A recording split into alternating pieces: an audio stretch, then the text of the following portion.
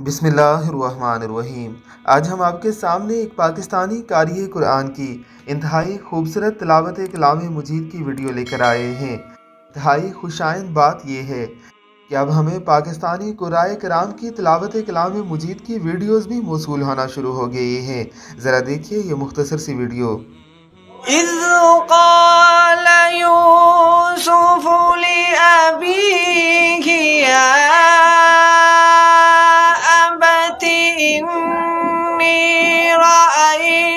أحد عشر كوكبا والشمس والقمر رأيتهم لي ساجدين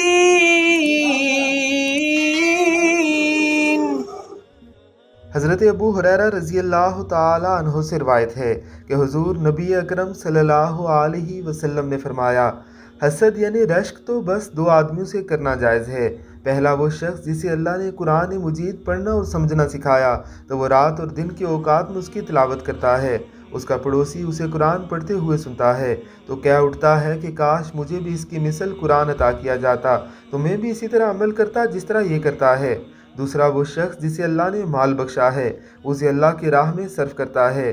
دوسرا شخص اسے دیکھ کر کہتا ہے کہ کاش مجھے بھی اتنا مال ملتا، جتنا اسے ملا ہے تو میں بھی اسی طرح عمل کرتا جس طرح یہ عمل کرتا ہے۔